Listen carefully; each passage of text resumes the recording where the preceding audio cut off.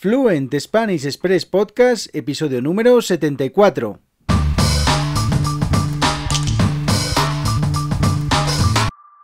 Esto es Fluent Spanish Express Podcast, el podcast para aprender, para practicar y mejorar vuestro español. Todos los días, de lunes a viernes, un nuevo episodio donde comparto contenidos con consejos, con recursos y recomendaciones para llevar vuestro español al siguiente nivel. Hoy, viernes 17 de septiembre de 2021, episodio número 74 de Fluent Spanish Express Podcast y hoy, como cada viernes, vamos a hablar de un tema que en este caso es la dieta mediterránea. Ya sabéis que durante toda esta semana he estado hablando de comida, he estado hablando de todo lo que tiene que ver con la comida en España, hemos hablado del menú del día, hemos hablado he compartido algunas expresiones con palabras relacionadas con la comida. También os he recomendado cinco blogs muy interesantes de, eh, cocina para que podáis practicar vuestro español mientras estáis disfrutando de eh, cocinar.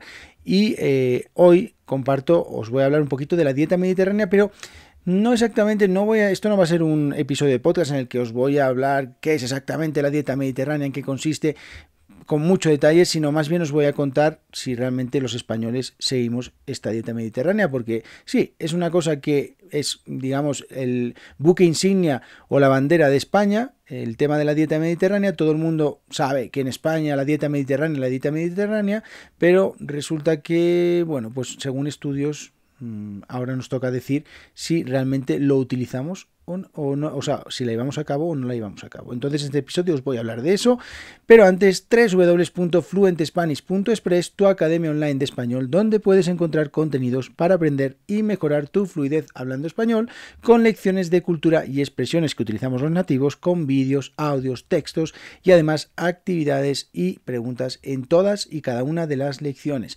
Además, esta semana, como todos los episodios del podcast han tenido que ver con la comida, he publicado una nueva lección en la que os he compartido nada menos que 80 expresiones con comida, 80 expresiones relacionadas con la comida. Ya sabéis que España y la comida son dos cosas que no se pueden separar. Los españoles, eh, la comida para nosotros es muy, muy, muy importante y bueno, pues hay muchísimas expresiones que utilizamos en nuestro día a día que eh, eh, en las que utilizamos palabras relacionadas con la comida, pero que no tienen nada que ver con la comida. Y entonces, en esta lección os comparto 80 expresiones que creo que son súper, súper, súper interesantes. Y además no solo os digo qué, qué, significa cada una de ellas, sino que también os digo en qué contexto las utilizamos. Si se puede utilizar cuando estás hablando en una conversación con tus colegas del trabajo, con tus amigos, o si estás hablando en un en un contexto mucho más formal, pues eh, si puedes utilizar o no determinadas expresiones. Muy interesante. Por tan solo 5 euros al mes eh, tienes acceso desde hoy a todas las lecciones y por supuesto a esta última lección sobre la comida. Así que ya sabéis, www.fluentespanish.express. Y bueno, pues hoy vamos a hablar de la dieta mediterránea y es que la dieta mediterránea, como os decía, es una de las cosas que más, de las que más se habla cuando eh, bueno, pues alguien escucha sobre España fuera de, nuestro país y básicamente la dieta mediterránea hace referencia a un tipo de alimentación que llevan a cabo los países mediterráneos, todos los que están alrededor del, mar Mediterráneo, Grecia, Marruecos, Chipre, España, Portugal, Italia, Francia, Croacia, bueno, eh, todo ese tipo de países, de ahí el nombre de dieta mediterránea, por supuesto. Sin embargo, bueno, el origen de esta dieta mediterránea, pues es en los años 50, 1950, la década de los 50, donde un científico comparó los índices de salud de las personas que habitaban en ciertos países mediterráneos comparados con Estados Unidos y Japón. Y los resultados indicaron que Japón y los países mediterráneos eh, tenían los habitantes más saludables porque debido a esta manera de alimentarse porque incluía menos comida procesada, mayor actividad física y bajo consumo de carnes rojas, a diferencia de Estados Unidos en el que era todo lo contrario. Bueno, pues además, eh, para unir a, a, esta manera de, este, más que dieta, yo diría más bien estilo de vida, porque también engloba cuestiones como la actividad física, que es muy importante, pues incluía también disfrutar de, junto con la comida de un buen vino, eh, del aceite de oliva como grasa añadida en las comidas, en todas las comidas, y además un alto consumo de pescado, porque, bueno, no olvidemos que España eh, está es una península que está rodeada de mar y entonces, bueno, pues hay mucha, eh, mucha industria pesquera, con lo cual, pues tenemos muchísimo consumo de pescado. Y bueno, pues básicamente cuando desde fuera se habla de la dieta mediterránea, pues todo el mundo, muchas personas se imaginan a una persona a la orilla de la playa disfrutando de un buen vino, con una comida sana, deliciosa, que apenas, sin apenas calorías, bueno, más o menos una vida feliz. Y eso, pues, claro, mm, hoy en día mm, no sé si exactamente ese estereotipo se cumple. Así que, de verdad, los españoles seguimos la dieta mediterránea. Sí, parece ser que, somos los países eh, en la zona del Mediterráneo, en la cuenca del mar del Mediterráneo, eh, Grecia, Italia, España, Marruecos, los que más peso tenemos en este tipo de eh, alimentación, pero en realidad nuestro país, España, no tiene tantos seguidores, no, tiene, no hay tantas personas que se alimenten de esta manera. Según estudios de la Universidad Autónoma de Madrid y la Universidad Autónoma de Barcelona, apenas el 12% de los españoles mayores de 18 años cumplen con todos los requisitos para llevar una buena eh, dieta mediterránea. Hablábamos de el tipo de alimentos que se consumen, la frecuencia de los alimentos y además la actividad física. Así que solo el 12% de las personas mayores de 18 años cumplen con estos requisitos. Y además, bueno, salvando un poco, para salvar un poco la estadística, más o menos casi el 50% de, eh, de los españoles incorporamos con cierta frecuencia alguno de estos elementos, pues, eh, bueno, como os decía, es muy frecuente comer con, aceite de oliva. Eh, bueno, el vino es una bebida, una bebida que tiene en España que tiene mucha tradición, pero muchas personas normalmente eh, añaden estas, estas cosas en periodos estivales, en el verano. Los periodos estivales es el verano, el periodo estival. Y, bueno, como os decía antes, el tema del aceite de oliva, más o menos más del 80% de las personas encuestadas, pues en estos estudios eh, utilizan o afirman que utilizan el aceite de oliva como principal grasa de adición. Y además, mm, ese, porcentaje también dice que no le gusta mucho eh, comer, ingerir, un verbo que sirve para decir, eh, para hablar de comer, ingerir en exceso carnes procesadas o bebidas azucaradas. Sin embargo, menos del 20% de estos encuestados consume frutas, verduras legumbre y legumbres tres veces a la semana, al menos tres veces a la semana, que es la frecuencia deseable que eh, recomiendan los expertos, eh, recomiendan los eh, nutricionistas, los médicos, para llevar a cabo una buena dieta mediterránea. Y bueno, pues tampoco contribuye muy, mucho a, ayudarnos en este estudio que comemos una gran cantidad de grasas y azúcares añadidos y bueno, pues al final pues eso, aquí en España nos encantan las galletas, nos encantan los pasteles, comemos muchísima miel y eso pues todo sirve para que mm, de alguna manera eh, no sigamos esta dieta mediterránea. Y además se da otra, otra circunstancia interesante y es que mm, entre los jóvenes en España entre 20 y 35 años eh, no son tan activos como físicamente como lo eran hace algunos años, con lo cual eh, encima de que la, o sea, en añadido de que la alimentación no es del todo deseable o todo lo buena que debería ser, pues encima se añade que eh, la actividad física tampoco es la, la, la, aceptable, porque en estos tiempos que corren, eh, la, eh, digamos que, que el sedentarismo está creciendo muchísimo entre la población aquí en España, con lo cual, bueno, pues otro componente más que hace que eh, los españoles no seamos eh, el mejor ejemplo de eh, dieta mediterránea. Así que bueno, en fin.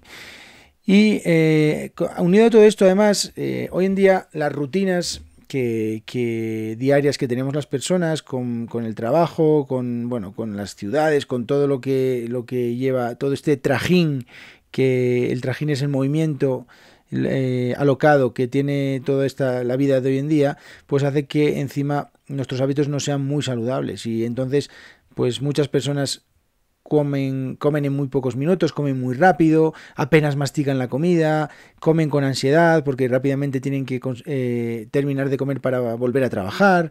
Eh, el consumo de alimentos procesados está disparado en nuestro país, o también o los precocinados, y además, encima, como os decía antes, el sedentarismo cada vez es mayor, con lo cual, bueno, pues eh, quizás de, de toda esta estadística, las únicas personas que se salvan o que tienen en estos momentos menos peligro son las las personas más mayores, porque, bueno, pues esas personas normalmente eh, no salen tanto a comer fuera de, a un restaurante, eh, no tienen las limitaciones laborales que, tienen los que tienen los, eh, los más jóvenes, porque ya no están trabajando.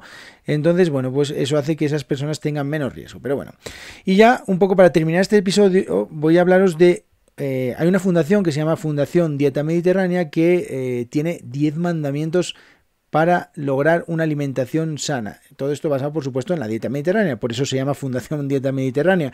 Y la primera de todas dice utilizar el aceite de oliva como principal grasa de adición. O sea, nosotros aquí en España utilizamos el aceite de oliva eh, muchísimo para freír cualquier tipo de, comida, pero en España comemos muchísimas, muchísimos fritos. Comemos pescado frito, comemos calamares, comemos croquetas, comemos empanadas, comemos muchísimos, muchísimos productos que eh, están fritos. Y creedme que el aceite de oliva siempre dicen que es muy sano, pero una cucharada de aceite de oliva tiene muchísimas, muchísimas calorías. Y esas calorías hay que quemarlas. Y como os decía antes, pues el sedentarismo, que el sedentarismo es la falta de actividad física, pues no contribuye a que quememos esas calorías que tiene el aceite de oliva. Entonces, bueno, pues sí, aceite de oliva sí, muy sano, pero como todo, con moderación, por supuesto. Bueno, luego eh, otro, otro, otra, digamos, otro mandamiento del decálogo de la dieta mediterránea es consumir alimentos de origen vegetal en abundancia. Por ejemplo, frutas, verduras, legumbres, champiñones y frutos secos. En España, eh, desde que yo era pequeño, ha habido muchísimas campañas de, sensibilización en la televisión para eh, intentar fomentar el consumo de frutas y verduras eh, al menos cinco piezas de frutas y verduras cada día. A mí me parecen demasiadas. Yo no, no soy capaz de comer cinco piezas de fruta cada día. Me parece excesivo. O sea, me parece más como una estrategia eh, de marketing para intentar que, el mercado de, la, fruta y de las verduras eh, aumente sus ventas, porque a mí me parece demasiado comer cinco piezas de frutas y verduras cada, cada día. Me parece demasiado. Además, que comprar frutas eh, frescas y verduras frescas eh, tiene un coste que no todas las familias tienen las posibilidades de, tener una cesta tan fresca, una cesta de la compra tan fresca, pero bueno. Tercer mandamiento, el pan y los alimentos procedentes de cereales deberían formar parte de la dieta mediterránea. Bueno, de nuevo, como os decía en el episodio anterior de las expresiones, como os decía en la, en la lección de la academia www.fluentespanish.express, el pan para nosotros es como la religión, es algo que tiene que estar en nuestra mesa sí o sí. Y de hecho, si comemos sin pan, lo, echamos muchísimo, muchísimo de menos. Pero el pan también es una de las cosas que más engorda, porque el pan está hecho de harina y es una de las cosas que, bueno, pues cuando, eh, cuando quieres perder peso, los médicos, los nutricionistas, pues muchas veces son de las primeras cosas que eh, intentan, eh, intentan restringir, intentan que las personas no consuman con demasiada frecuencia. Así que, bueno, pues esto.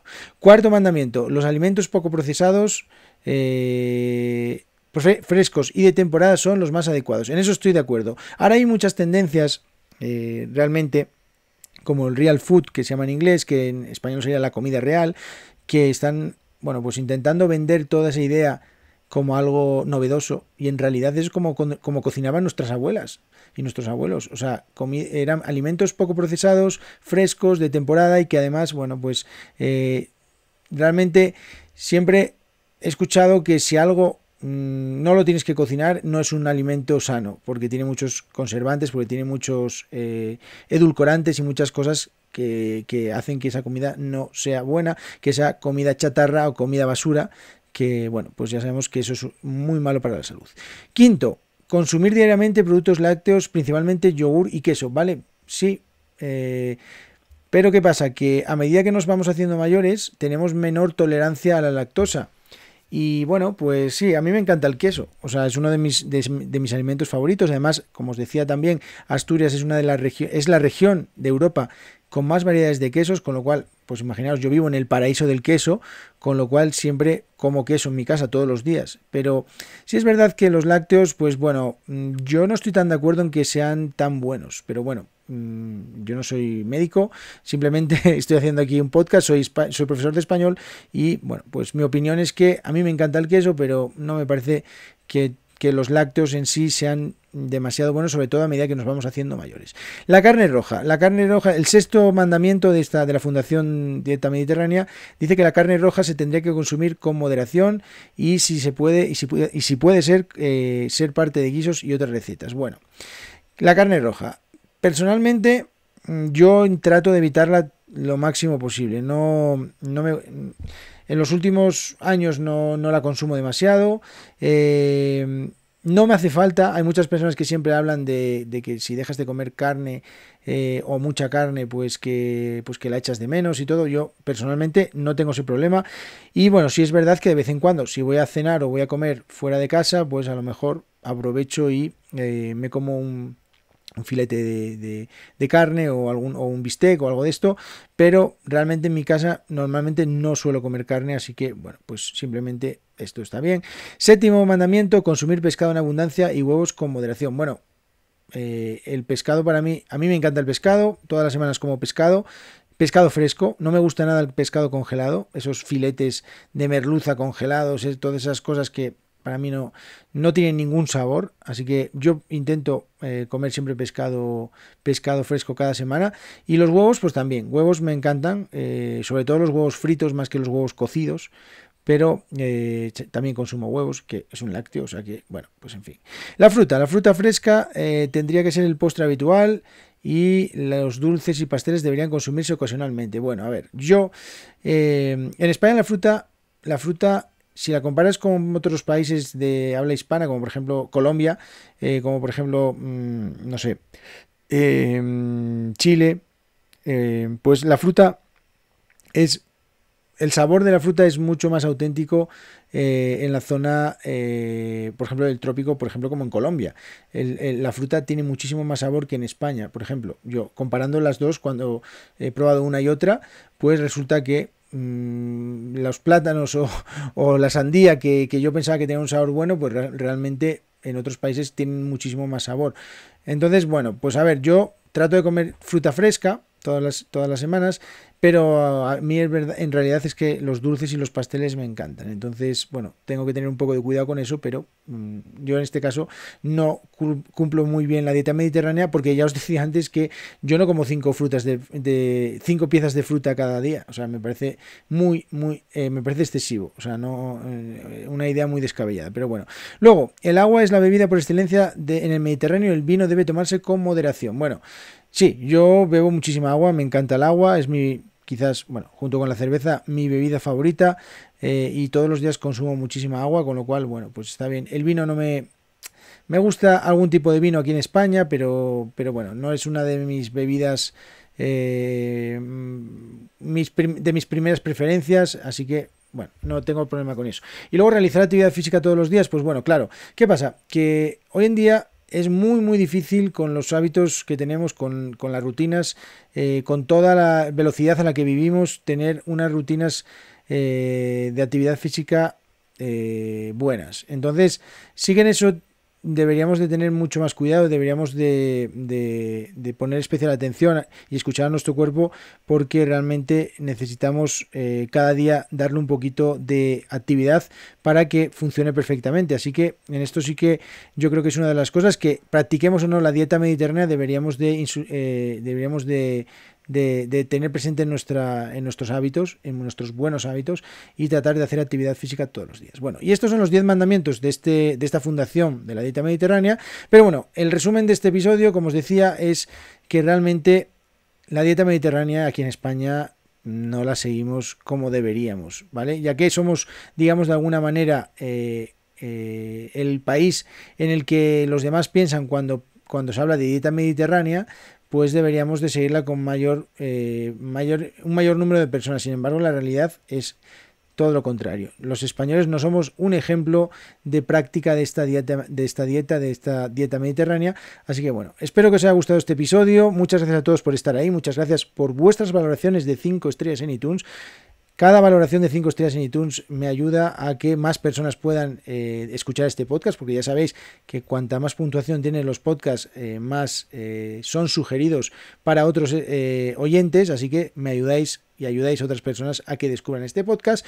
Y también muchas gracias a todos por suscribiros al podcast y por eh, suscribiros a las lecciones en www.fluentespanish.express porque al final ya sabéis que todo esto, pues bueno, depende un poco de esta, de esta academia que si no tengo suscriptores, pues bueno, de alguna manera esto deja de funcionar, así que muchísimas gracias a todas las personas que estáis suscritas a los cursos, a las lecciones, muchísimas gracias a todas las personas que eh, cada, cada, semana me estáis escribiendo mensajes y también pues nada, nos vemos el próximo lunes en el que como cada lunes voy a responder vuestras preguntas, preguntas que podéis enviarme a través de www.fluentespanish.express barra contactar o a través de redes sociales como queráis, podéis enviarme las preguntas de la manera que queráis para que el lunes pueda contestarlas y bueno pues eh, ayudaros un poquito más con vuestro español. Así que tengáis muy buen fin de semana, nos vemos el próximo lunes, adiós.